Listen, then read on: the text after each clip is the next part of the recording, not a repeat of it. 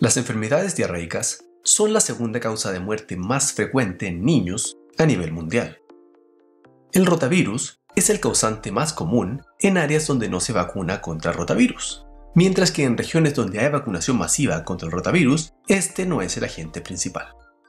Vacunas 1, gente antivacunas 0. Como dice un chiste, Doctor, ¿es necesario vacunar a mis hijos? Y el doctor responde, No, solo vacune a los que quiera conservar. Por cierto, el rotavirus, como lo dice la segunda mitad del nombre, es un virus. Volviendo al tema principal, gastroenteritis bacterianas. Todas las bacterias que veremos a continuación son gram negativo. Al hablar de clínica, nos estaremos refiriendo a signos y síntomas. Los signos son aquellos objetivables y los síntomas son subjetivos. En el caso de una gastroenteritis, podríamos decir un signo es la diarrea, un síntoma es el dolor abdominal. La diarrea podemos objetivarla. El dolor solo la persona lo siente, solo esa persona sabe cuánto le duele verdaderamente. Por factores de riesgo, entenderemos condiciones o conductas que aumentan la probabilidad de que algo ocurra. Por complicaciones, tendremos el empeoramiento del estado de salud secundario a la enfermedad. Dentro de estas, de inicio agudo, lo entenderemos como que inicia muy pronto o de forma inmediata, y complicaciones durante la convalecencia. Esto se refiere al periodo de recuperación, por así decirlo, cuando uno ya mejoró de la gastroenteritis, pero el cuerpo aún no tiene una recuperación completa. Campylobacter. Clínica diarrea, hematoquesia, la cual se refiere a sangre fresca mezclada con las deposiciones, dolor abdominal, fiebre, malestar general. De forma clásica el malestar general incluye anorexia, adinamia y astenia. La anorexia es la falta de deseo de comer. La adinamia es la falta de energía para moverse o para hacer cosas, pero energía física. Y la astenia es la falta de deseo psicológico de hacer cosas. Podríamos decir falta de ánimo. Factores de riesgo. Contaminación por heces de ave. Aves mal cocidas. Agua contaminada. Leche no pasteurizada. Mascotas, como perros, gatos, hámsters, pájaros. También transmisión de persona a persona. Complicaciones agudas. Deshidratación. Bacteremia, que es la presencia de bacterias en la sangre.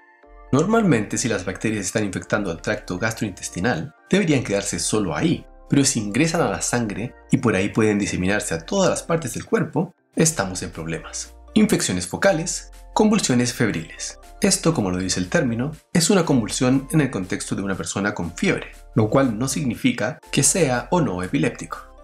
Complicaciones durante la convalecencia. Artritis reactiva, que es una inflamación de las articulaciones, como codo, rodilla, hombro.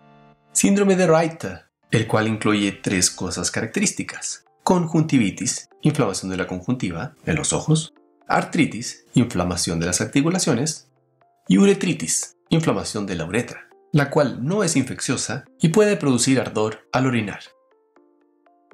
Las gastroenteritis producidas por esta bacteria habitualmente son autolimitadas, es decir, pasan solas, o más específicamente el cuerpo logra deshacerse de ellas sin necesidad de medicamentos. 20% tiene recaídas o síntomas prolongados. ¿Deberíamos dar antibióticos si hay presencia de síntomas moderados a severos, si hay recurrencia, si existe inmunocompromiso, si es un niño y asiste al jardín, o es una persona institucionalizada, por ejemplo, un adulto mayor en un hogar de ancianos o una persona con una patología psiquiátrica importante en un hospital psiquiátrico. Opciones de tratamiento: eritromicina, acitromicina, ciprofloxacino. Recordemos antibióticos que cubran bacterias gram negativas, principalmente Campylobacter. Por cierto, asuman que realizamos un cultivo de deposiciones o tomamos una muestra y la sometimos a un método diagnóstico más rápido y nos dio positivo para Campylobacter en este caso y posteriormente positivo para todas las otras bacterias que vamos a ver.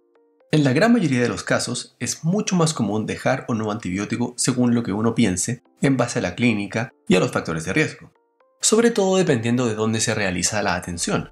Si es en un hospital o clínica con un laboratorio, podemos pedir una muestra inmediatamente. Sin embargo, si es una consulta y no contamos con ningún tipo de elementos avanzados, si estamos haciendo una atención a domicilio y tenemos básicamente un par de guantes, el fonendoscopio y una mascarilla, suele ser mucho más cómodo y mejor para la persona que le demos la indicación de usar o no antibióticos de forma inmediata, en vez de enviarla a alguna parte a realizarse el examen, que luego de alguna forma nos contacte de nuevo Luego analicemos ese examen, veamos cómo se encuentra, si se justifica o no el tratamiento antibiótico, esperar el resultado del antibiograma, etc. Finalmente, mencionaremos qué es esto del antibiograma, lo cual puede llamarse de forma distinta en otros países. Encontramos que la bacteria causante era Campylobacter, en este caso, debido a que esta bacteria creció en un cultivo o se detectó con otros métodos como PCR, etc. Pero en estricto rigor con esto no basta. Necesitamos también tener certeza de con qué se mueren estas bacterias, porque existen algunas bacterias resistentes. Entonces, en el caso del cultivo, tomamos una muestra de deposiciones, las hacemos crecer en un medio especial y luego las matamos. Para esto utilizamos diferentes tipos de antibióticos y vemos con cuál de ellos se muere la bacteria. Algunas veces encontramos que con todos los antibióticos que probamos, con ninguno, solo con algunos, y además vemos el grado de resistencia y o sensibilidad. Esperamos que este video les haya gustado y los esperamos en la segunda parte con las otras 9 bacterias más frecuentes que producen gastroenteritis bacterianas. Hasta pronto.